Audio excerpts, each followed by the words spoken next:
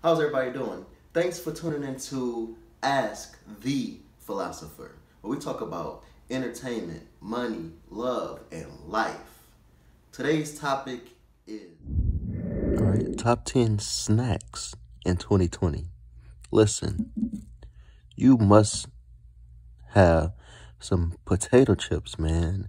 Any type of potato chips. You you got yourself a solid snack for sure. Remember this. I love you if nobody else has told you that today.